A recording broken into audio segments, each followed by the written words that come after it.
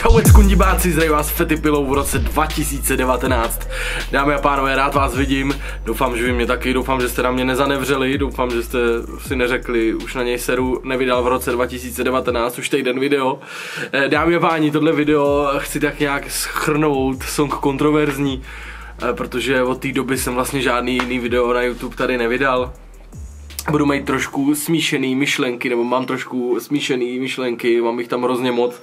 Rád bych vám uh, hlavně na začátek chtěl poděkovat za neskutečný support, který jsem fakt jako asi jako vůbec nečekal. A tak nějak rád bych rozvedl, jak to, jak to vzniklo, jak to vzniklo ta skladba, proč vůbec vznikla, Mm, protože je mi jasný, že jste si všimli, že na YouTube začíná vycházet spoustu uh, písniček od youtuberů a od různých tvůrců a ty Vánoce, ten prosinec zrovna tím byl docela zahlcený, takže bych chtěl jako uvést na, prvou, na pravou míru, proč vyšlo, vyšel zrovna můj song. A hlavně bych chtěl uvést na pravou míru pro ty, co třeba nevědí, že to nebyl úplně pr- můj první song, který kdy jako byl stvořen. Každopádně je to trošku nezvyklý, ty vole mluvit do kamery po takové době, i když pořád streamuju, takže jako bych na to měl být zvyklý, ale nejsem na to zvyklý, ty vole jsem se to trošku nesvůj. A začnu teda asi s tím, um, že bych chtěl říct, že zavřu okno. Začnu asi s tím, jako s nějakým, s nějakým povídáním, nebo chci vám říct, eh, jak vlastně probíhalo nahrávání, když jako jsem byl mladší. Protože Někteří vědí, někteří ne, že jsem si asi od 14-15 let říkal tlustý Karl. Snažil jsem se tvořit uh, hudbu, snažil jsem se repovat, byl to vždycky můj sen. Uh, vím, že to zní trošku kliše, protože to říká každý, ale poslouchal jsem Eminema a celý dětství jsem prostě snil o tom, že bych někdy mohl do hudby dát já svoje srdce a já nějaký svoje poselství a předat ho lidem.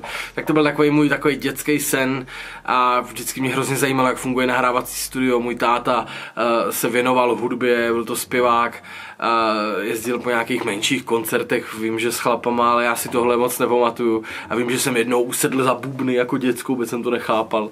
Ale vždycky mě tak nějak hudba jako... Nikdy jsem nechodil do žádného kroužku, co se týče nějakých hudebních nástrojů. Vím, že na základ se valily flétny, housle, uh, chodili i zpívat děcka, učili se to a mě to nikdy moc nezajímalo, já jsem radši chodil s kámošema ven a hrál jsem na počítači, ale vždycky mě prostě hudba fascinovala, vždycky jsem chtěl umět zpívat, nebo chtěl jsem prostě nějakým způsobem do hudby dát kus sebe. No a to se mi tak nějak podařilo, nebo jsem s tím nějak začal kolem 15 let, kdy jsem Třebíči uh, šel do nahrávacího studia, jmenovala se, myslím, studio Skála, nebo tak něco, kde se, kde stála hodina nahrávání 300 korun. Šel znám poprvé, vůbec jsem nevěděl, co to je, jako, jak to funguje, uh, jak se, jako, jako, co se tam má dělat, uh, jako prostě cože, jakože nahrávací studio 15 letý kluk, jakože what, v Třebíči, víš co, nebylo to žádný, představujte si žádný jako hvězdný studio, jako hustý, byl to takový obyčejný studio, ale znělo to tam dobře a jako a tu atmošku svou to prostě mělo. A když jsem, když jsem s tím začínal, tak fungovala stránka, nebo pořád asi funguje, benzone.cz, nebo tak něco, já nevím, se to jmenuje takhle, prostě jmenovalo se to Benzone. A tam bylo místo, kde si vlastně nějaký amatérský hudebník, prostě já jsem ani nevěděl, že v té době snad YouTube nebo co, nebo že se to dá dát na YouTube, nebo to asi nikdo nedával, ale prostě dávali se skladby na Benzone, takže jsem to dal na Benzone a vždycky jsem to jako rozposílal úplně všem, chodil jsem na ostatní profily těch lidí na tom Benzone a všem jsem jim posílal, že mám novou skladbu a tohle. A hlavně jsem to sdílel na Facebooku, to už jsem měl Facebook, to si pamatuju, měl jsem nějak 300 přátel, rozumíš, z toho jsem znal dva. No a uh, teď jsem viděl, že to sdílel třeba jeden člověk a jako jak Karl Třebíč. A já uou, ty a užíval jsem si tu půl hoďky slávy a úplně jsem se jako cítil dobře, že jsem něco udělal konečně, něco, co třeba se lidem bude líbit. A tak to, tak to chodilo pořád, já jsem vždycky uh, poprosil jsem o mámu o tři stovky a, šel jsem nahrávat do studia. Hned jak jsem přišel ze studia, tak jsem šel s fleškou, flešku, vždycky mi to nahrál na flešku. Ani se to nemástrovalo nic, ta skladba se nahrála, vyexportovala, hned jsem prostě šel dom, hned jsem to dal do počítače a hned jsem to vysázel na net a měl jsem plně nejvíc šťastný pocit, že konečně zase lidi mě uslyšejí. A hrozně mi to naplňovalo, normálně jsem to sám poslouchal třeba týden v kuse, víš co, sám sebe. Ale já se jako neuvědomuju, že jsem to já, já to neumím popsat, já se jako neuvědomuju neuvědomuji, že poslouchám sebe. Víš, já to prostě poslouchám, jako vnímám to, jako nevalím, jako že bych to byl úplně já, jako tak, tak to nějak valilo a pamatuju si jednu takovou svou, jako takovou, takový úspěch, že by bylo asi 16, to ne, to už nebylo asi 17. A jsem vydal jednu skladbu, která jako se nebudu vyjadřovat už. A vím, že tam byl nějaký žebříček top 5 nebo top 3 na hlavní stránce Benzone.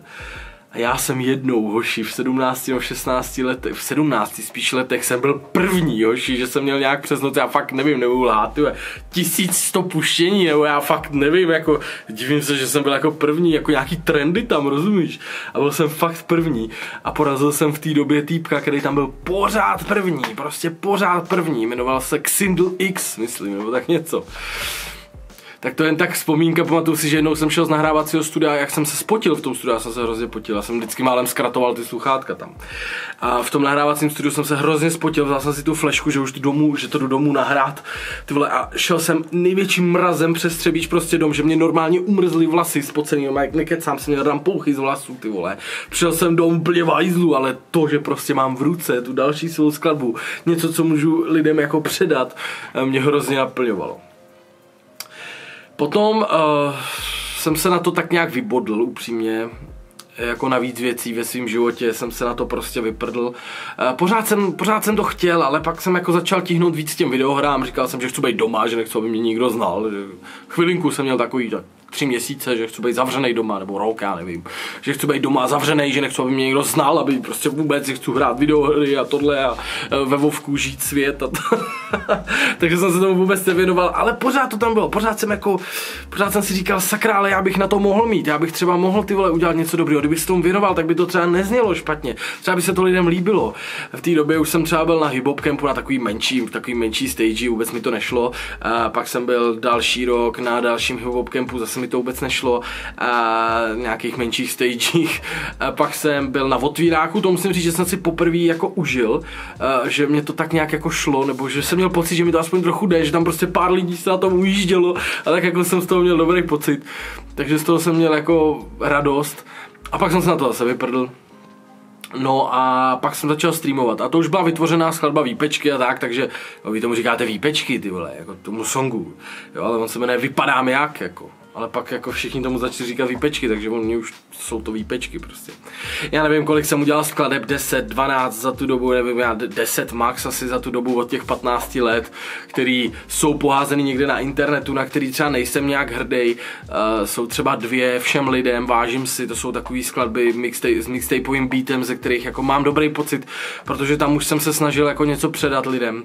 A to je to, už se dostávám k songu kontroverzní. Já od té doby, co streamu, tak říkáte, Fety, nahraj něco. Já jsem, já jsem věděl, že jak začnu streamovat, že mám už to publikum, že to publikum se tam tvoří postupně a že je zajímá eh, i víc než jen stream, um, dělání jako bláznovy na povídání si úher a že vědějí ty lidi, že jsem dřív tu hudbu nějakým způsobem dělal, nebo že jsem se snažil, vždycky chtěli, ať tím zarepuju na streamu a tak, ať, ať to prostě zkusím, ať něco nahraju a hrozně dlouho jste to říkali. A já už jsem k tomu měl prostě, řekněme, prostředky, já už jsem mohl prostě, dřív jsem fakt lidi lidi, šel za tři stovky do nahrávacího studia, věděl jsem, že mám jenom hodinu. A za tu hodinu jsem chtěl nahrát dva songy. A úplně jsem to valil, úplně jsem ho chů, to nemohl, neměl jsem čas na to to vylepšit, neměl jsem čas uh, si to ještě poslechnout uh, třeba třikrát, jenom doma, víš, co jsem si to jak jako prděl před počítačem. A neměl jsem prostě na to čas, měl jsem prostě určitý uh, peníze, finance na to, abych to prostě rychle nahrál, šel doma, dal to na net a doufal, že to nebude zase tak na hovno.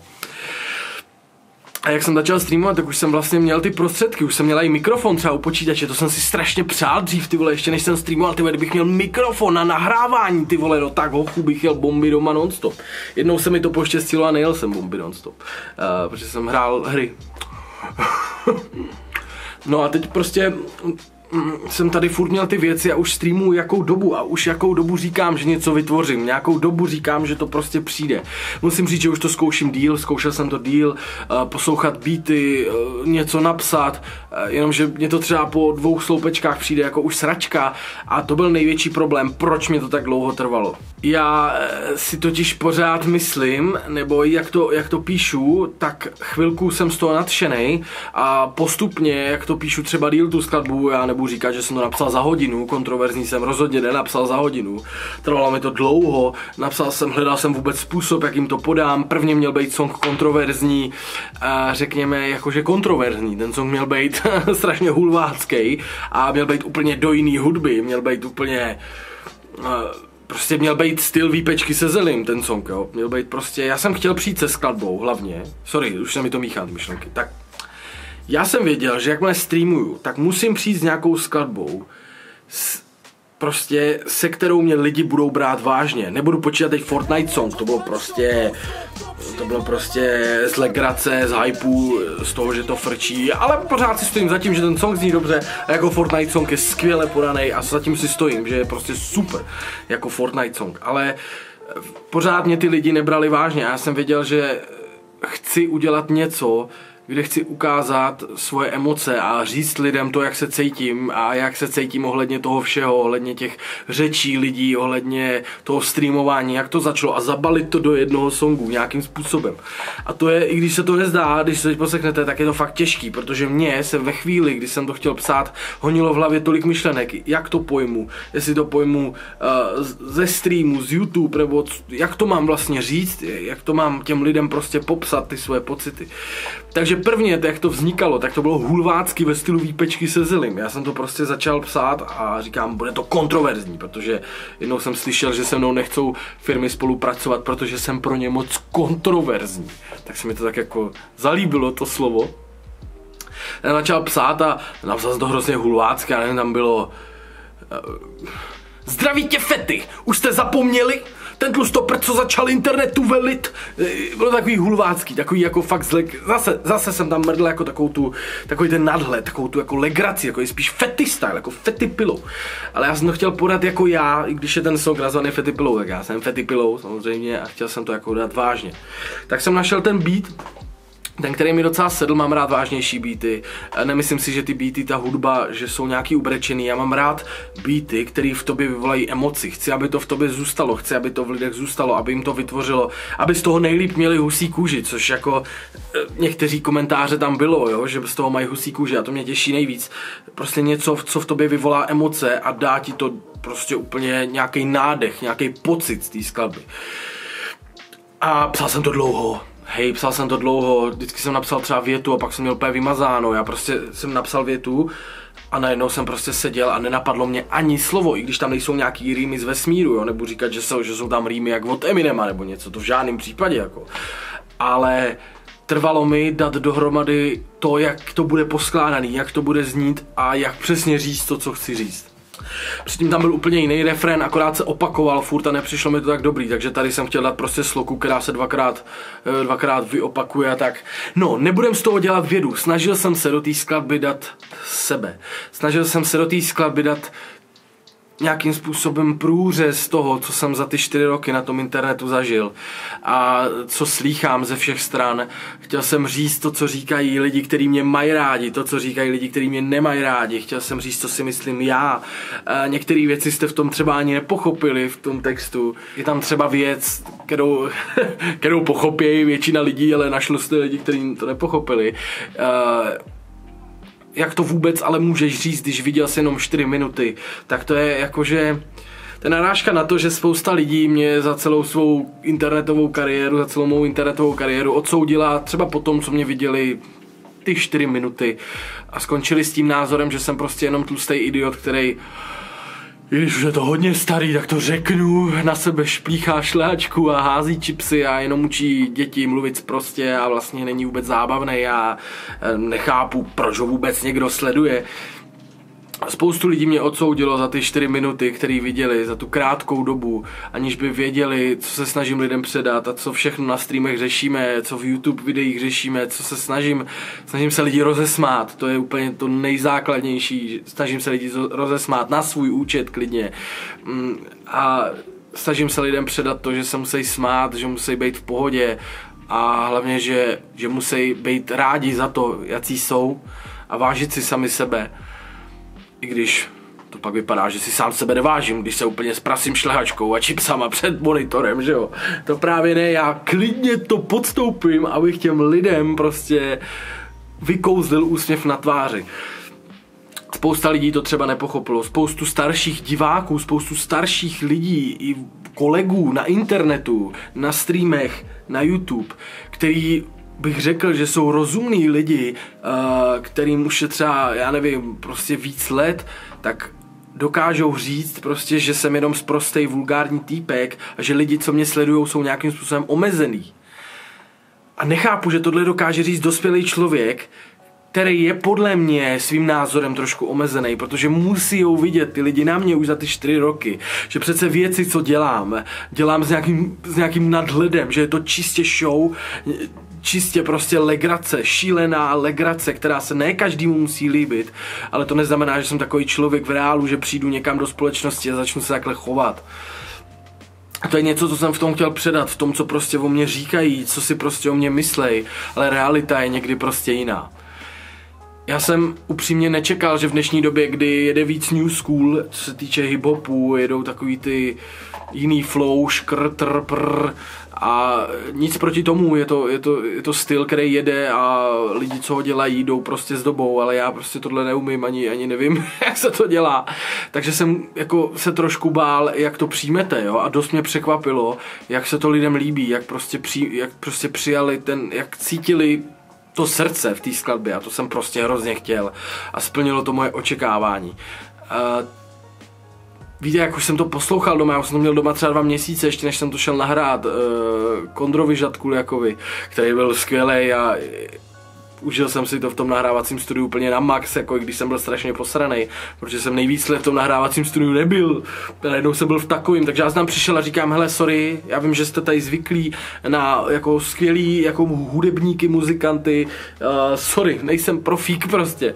A nakonec, nakonec to vyšlo dobře. A i Ondra a jeho slečna říkali, že to je dobrý tak uh, i tak jsem prostě nevěřil tomu, že by se třeba to mohlo až takhle líbit. Čekal jsem, že by mohlo, že by mohlo třeba se to zalíbit lidem a dali bychom třeba za tři dny třeba 100 tisíc nebo něco. Fakt jako v tomhle jsem se trochu podcenil a nakonec mě to neskutečně překvapilo a lepší než být zklamaný, tak jsem byl velmi překvapený a říkal jsem sakra těm lidem z toho, přišlo mě prostě v sekundě úplně tisíce zpráv, že úplně lidi čumějí, že i když mě nesledujou, tak konečně slyšeli něco od srdce, že konečně mezi hromadou těch skladeb našli, jako skladeb na YouTube, našli něco, co jim prostě nějakým způsobem promluvilo do duše. A to je něco, co jsem přesně celou dobu chtěl.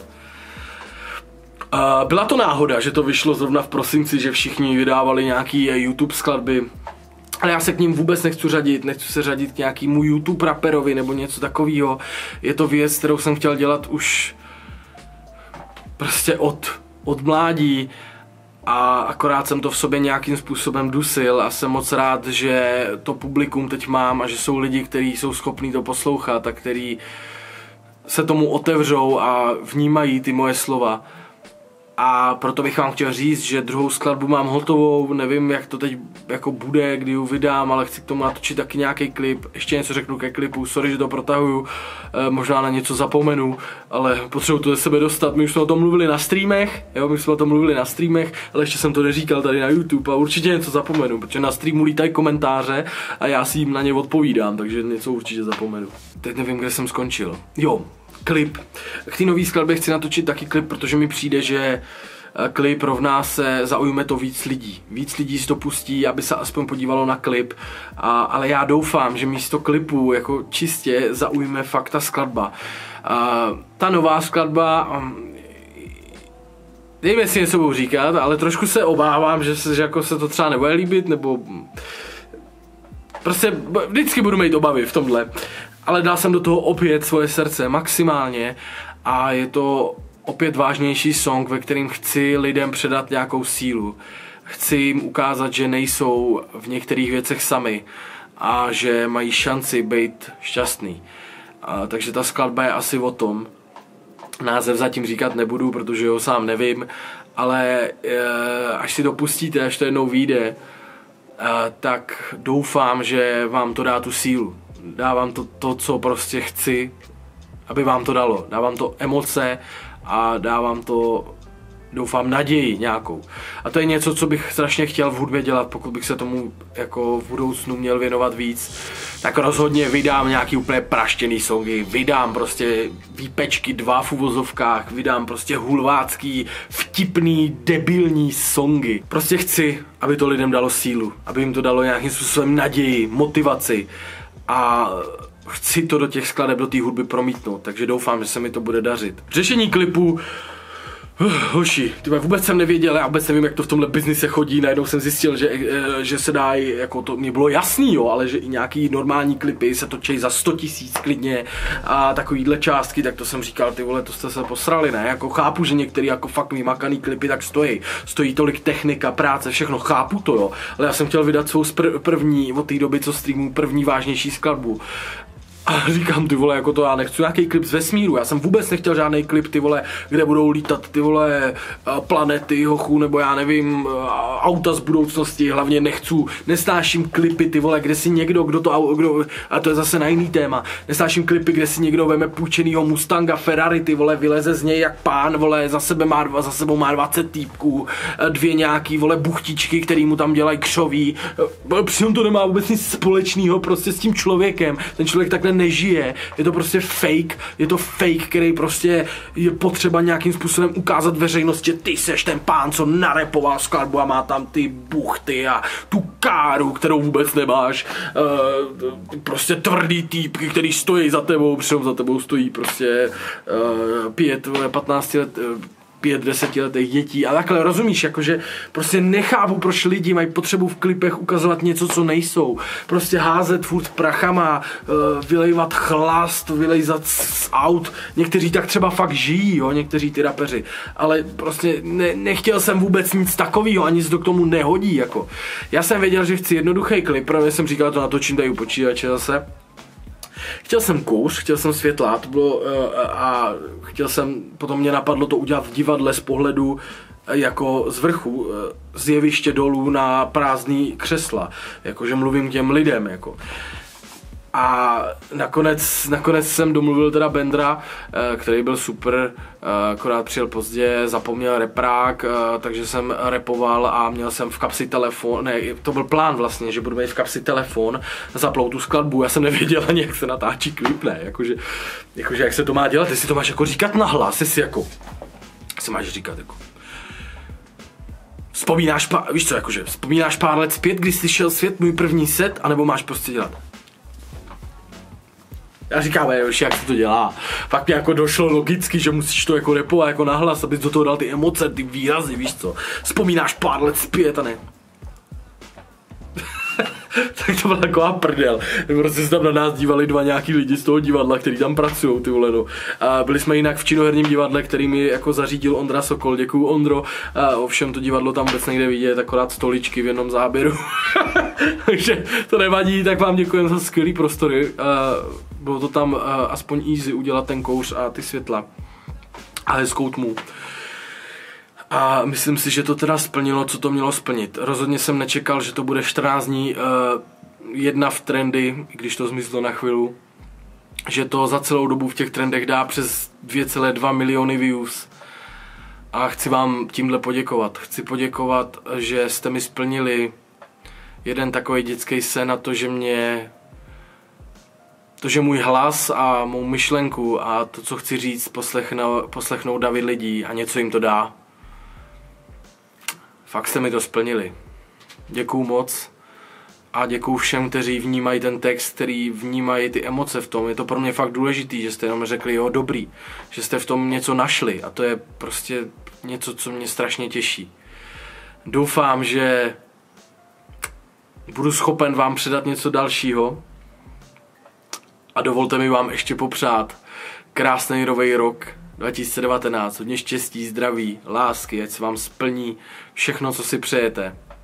A sledujte mě dál Protože jako moje humorná stránka tady na YouTube vůbec nekončí, jo? Abyste si mysleli, že jsem teď jako najednou přesedlal a najednou jsem rapper, jako, nebo něco, chápeš? V žádném případě, jako Fetty Pillow jede normálně dál, úplně jako, úplně jako na půdu, rozumíš? Bez tak, si to, já se ani pouštět nebudu to video, protože mi jasný, že jsem zapomněl tisíc věcí. Hele, takhle, víte, co uděláme, kdyby vás něco opravdu zajímalo, napište to do komentů já třeba pak natočím další video a na, nazveme to, vole, od, otázky, odpovědi.